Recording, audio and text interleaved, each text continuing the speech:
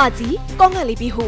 কৃষিপ্ৰধান ৰাজ্য অসমৰ হেঁপাহৰ উৎসৱ কাতি বিহু উপলক্ষে ৰং চেনেলে দৰ্শকৰ বাবে সাজু কৰি তুলিছে এখন নতুন ধাৰাবাহিক গোলমাল। সপ্তাহত এদিন থানালৈ আহি মোক দেখা কৰি যাবি। সদায় আহিব নোৱাৰিম সদায়? মানে?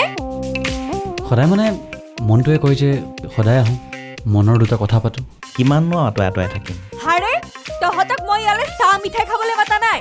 ভাড়াঘৰ বৰলাকাই ঐ খাপলা দৈনন্দিন বা অমৰাৱতী বা আদি জনপ্ৰিয় ধাৰাবাহিক উপহাৰ দিয়া ৰং চেনেলে কিছুদিন হাস্যধৰ্মী ধাৰাবাহিক সম্প্ৰচাৰ কৰা নাছিল।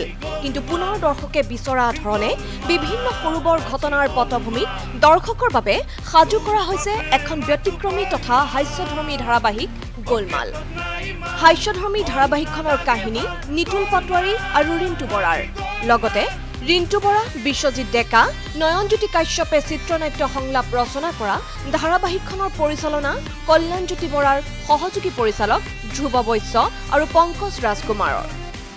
বিশিষ্ট অভিনেতা হিৰণ্য ডেকাৰ লগতে ৰাজ প্ৰতিম বৰুৱা নিতুল পাটোৱাৰী নিৰুপম শইকীয়া ভনীস্মিতা ডেকা মানস শৰ্মা মণিৰাজ বৰঠাকুৰ ধ্ৰুৱ আদি বহু জনপ্ৰিয় অভিনয় শিল্পীৰ সমাৱেশ ঘটিব গোলমালত।